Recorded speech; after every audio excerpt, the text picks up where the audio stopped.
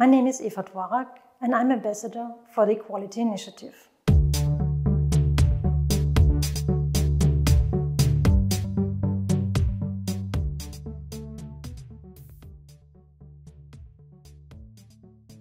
Why are you an ambassador of the Equality Initiative? As a female leader, it is one of my main tasks to support my staff members in the best possible way.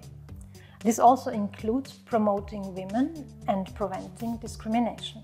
Why is it so important to inspire more women for energy topics? Working in energy transition means working in change management.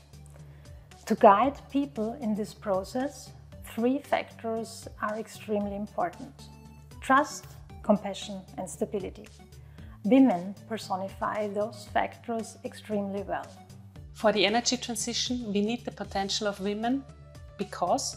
Because women are well educated and we certainly cannot afford to do without 50% of the brain power.